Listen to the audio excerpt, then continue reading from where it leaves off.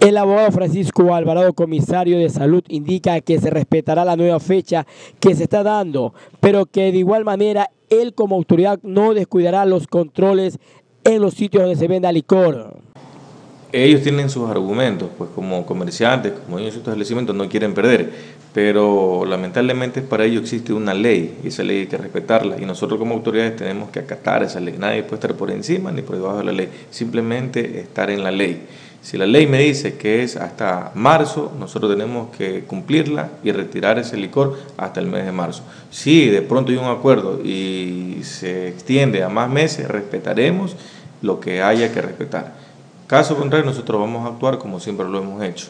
Que se mantendrá una reunión de trabajo con las autoridades de salud en la ciudad de Guayaquil y de allí saldrán algunas disposiciones. Eh, justamente el día de mañana tenemos una reunión en Guayaquil, autoridades de salud, para una, hacer ya o planificar cómo vamos a hacer el procedimiento de la nueva fecha que se ha dado por parte de las autoridades para que puedan tener en perche ese tipo de licores. Caso contrario, que no lo sigan teniendo, nosotros vamos como autoridades a decomisarlo totalmente.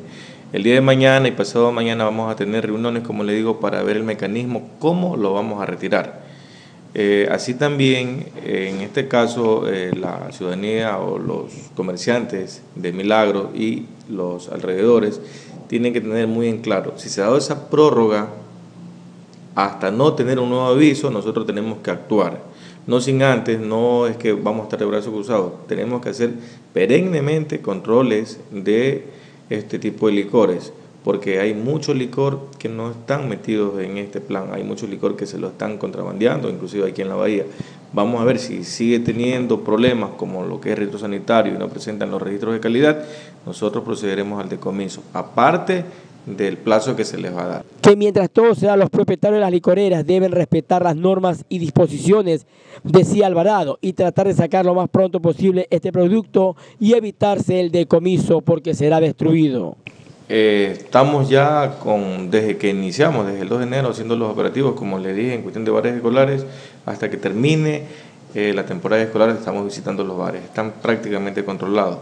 En esta semana que viene vamos a hacer operativos nocturnos. Estos operativos nocturnos van enfocados netamente a lo que son negocios de comida rápida que se encuentran, como usted ve, en, en veredas, en todo el casco comercial en la noche. Entonces vamos a ver si están cumpliendo lo que dice la ley orgánica de salud, que tengan sus permisos correspondientes y sobre todo las condiciones para poder vender esta comida que se vende todas las noches. Si no la tienen, nosotros vamos simplemente a actuar. Y si es de clausurar, vamos a clausurar. Siempre he dicho, eh, tengan sus permisos, trabajen como manda la ley. Si no lo hacen, desde ya están avisados. Desde este fin de semana arrancamos con los operativos nocturnos. De esta manera expresa el comisario de salud que los operativos a los bares escolares continúan hasta que se termine la etapa educativa Costa y otros que se retoman, decía Alvarado. Un informe para Telemilagro.